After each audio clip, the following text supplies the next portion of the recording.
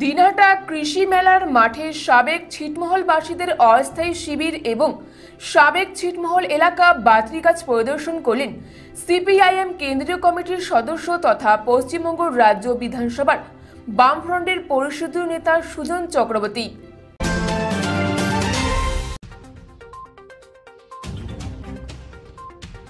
সাবেক ছিটমহলবাসী নব্য ভারতীয়দের নিয়ে কার্যত ছিনিমিনি খেলছে কেন্দ্র ও রাজ্য সরকার।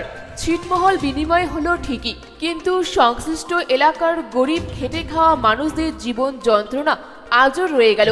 এদিন দিনহাটা কৃষি মেলার মাঠে সাবেক ছিটমহলবাসীদের অস্থায়ী শিবির এবং সাবেক ছিটমহল এলাকা বাত্রিগাছ পরিদর্শন করে সাবেক ছিটমহলবাসীদের সাথে কথা বলে আক্ষেপের সাথে এই উষ্মা প্রকাশ করলেন সিপিএম কেন্দ্রীয় কমিটির সদস্য তথা পশ্চিমবঙ্গ রাজ্য বিধানসভার বামফ্রন্টের পরিষদীয় সচিব সুজন চক্রবর্তী। এদিন সকালে সুজন চক্রবর্তীর প্রথমে দিনহাটা কৃষি মেলার মাঠে সাবেক ছিটমহলবাসীদের অস্থায়ী শিবির পরিদর্শন করে এই সাবেক ছিটমহলবাসীর নেতাদের সাথে কথা বলেন। এই শিবিরে বাংলাদেশি সাবেক ছিট থেকে আসা ছাপ্পান্নটি পরিবার বসবাস করেন। এই পরিবারের সদস্য সদস্যরা এদিন সুজন চক্রবর্তীর কাছে তাদের দুঃখ দুর্দশার কথা তুলে ধরে বলেন, এ শিবিরে বসবাসকারী এক একটি পরিবারের জন্য মাসে তিরিশ কেজি চাল বরাদ্দ করেছে সরকার। তার সাথে রয়েছে এক প্যাকেট গুঁড়ো দুধ এবং তিন পোটলা লবণ। এছাড়া আর কিছুই পান না তারা। এক চরম দুর্বিষহ পরিস্থিতির মধ্যে বেঁচে থাকার লড়াই চালিয়ে যেতে হচ্ছে তাদের। এই প্রসঙ্গে সুজন চক্রবর্তী জানান আটান্নটা পরিবার এখানে আছে। এদের পুনর্বাসনের দায়িত্ব আমাদের রাজ্য সরকারের। রাজ্য সরকার করবে কাজটা আসলে দিল্লির সেই দিক থেকে দেখা যাচ্ছে যে না কেন্দ্র না রাজ্য এদের ঠিকমতো দেখভাল করছে না। এরা যেটা বললেন আটান্নটা পরিবার এখানে আছে কার্যত রেশন দেওয়া ছাড়া। তাতেও রেশনে যা দেয় সেটা সংসার চলে না। অল্প চাল, অল্প ডাল, তিরিশ কেজি চালে এদের চার পাঁচজনের সংসার চলাটা সহজ না, কঠিন। এই গরিব লোকগুলোকে নিয়ে এই ছিড়িমিনি খেলাটা ঠিক হচ্ছে না, বিধানসভাতে অনেকবার বলেছি, রাজ্যপালকে অনেকবার বলেছি, রাজ্যপাল কেন্দ্রীয় প্রতিনিধি, রাজ্য সরকারকে বলেছি। চুপ, দুর্ভাগ্যক্রমে আমি বলার পর এখানকার এমএলএরা কেউ কিছু বললেন না, মুখ্যমন্ত্রী বললেন সব ঠিক আছে, দারুণ করছে। মুখ্যমন্ত্রী বললে আর তো কিছু বলা যাচ্ছে না, উনি দারুণ ঠিক করছেন। এখানকার লোকগুলোর চেহারা দেখে বুঝলাম যে ভীষণ বিপদের মধ্যে আছেন। এদের কোনো ভরসা পাচ্ছেন না। বাংলাদেশ থেকে আসা ছিটমহল বাসিন্দাদের জন্য ফ্ল্যাট বাড়ি নির্মাণ করা হচ্ছে। কিন্তু এই নির্মাণ কাজে এতটাই নিম্নমানের সামগ্রী ব্যবহার করা হয়েছে যে সম্প্রতি নির্মীয়মান ফ্ল্যাটের দেওয়াল ধসে পড়েছে। কার্যত সরকারি অর্থ নয়ছয় হচ্ছে সংশ্লিষ্ট এলাকায় বলে এদিন অভিযোগ করেন সুজন চক্রবর্তী।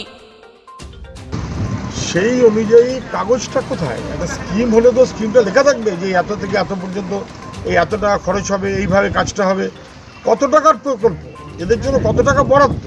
এদের পুনর্বাসনের জন্য বন্দোবস্ত কি? এবার এরা যেখানে যাবে সেখানে শোনা যাচ্ছে যে ঘরগুলো করা হচ্ছিল তার পাঁচিল নাকি ভেঙে গেছে পড়ে গেছে দেয়াল পড়ে গেছে। পাঁচিল তো না দেয়াল দেয়াল পড়ে গেছে। তাহলে কি শুধু বালি আর এই দিয়ে কাজ হচ্ছে নো সিমেন্ট নো পাথর কি হচ্ছে নাকি? ইতিমধ্যে বাংলাদেশ থেকে আসা ছিটমহলবাসীরা দাবি তুলেছেন, প্রত্যেকটি পরিবারের জন্য পৃথক পৃথক বাড়ি নির্মাণ করে দিতে হবে সরকারকে। এর পাশাপাশি বাংলাদেশ থেকে যে অর্জিত সার্টিফিকেট নিয়ে তারা এদেশে এসেছেন, সেই সার্টিফিকেটকে যথাযথ মূল্য দিয়ে তাদের সরকারি চাকরি বা কোনো শিক্ষা প্রতিষ্ঠানে ভর্তির ক্ষেত্রে পূর্ণ অধিকার দিতে হবে।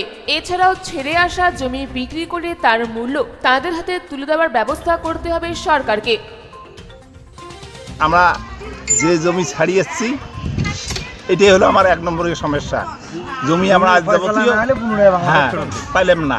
আর যেটা আমার সরকার প্রতিশ্রুতি দিয়ে নিয়ে এসছে পুণ্যবাসন দেওয়ার। এখন পুণ্যবাসন আমরা ইয়ে পাচ্ছি না এখন পাচ্ছি আমরা থালা বাসন। এইটুকে বক্তব্য আর বেশি দিতে চাই না। কারণ এই যুগে আমরা ইয়ে পাইলে যথেষ্ট। যদি এর কোনো সরকারিভাবে শুরু না হয়, তাহলে পুনরায় আমাদেরকে বাংলাদেশ রিটার্ন দেবে। ভারত সরকার। কারণ যে আমাদের জন্য বরাদ্দ ছিল ফ্ল্যাট বাড়ি, ওই ফ্ল্যাট বাড়ি আমরা ফ্ল্যাটের লোকও না, আমার গ্রামের লোক, কৃষি লোক। কৃষি আমার জমিনের দরকার।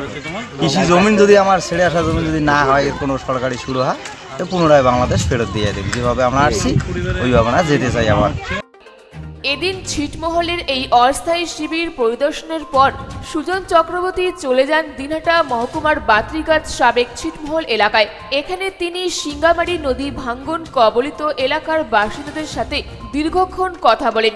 এই ভয়াবহ পরিস্থিতি থেকে সুজন চক্রবর্তী বলেন এই পাশে মানসাই নদী বলে। না সিঙ্গিবাড়ি এই নদীটাতে একটা ভাঙন এমনভাবে আছে যেটা সরকারের অ্যালার্ট হওয়া উচিত।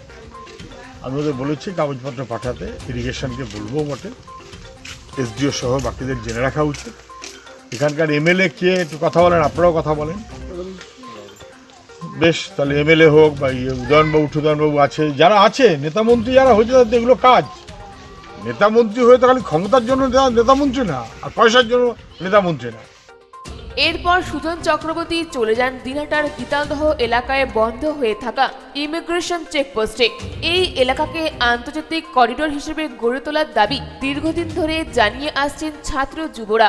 এদিন সুজন চক্রবর্তীর সফর সঙ্গী ছিলেন গণতান্ত্রিক আন্দোলনের নেতা তারাপদ বর্মন, ছাত্র নেতা শুভ্রালোক দাস, যুব নেতা এন্দাদুল হক। গীতালদহ এলাকায় উপস্থিত ছিলেন গণ আন্দোলনের নেতা বিশ্বনাথ চৌধুরী।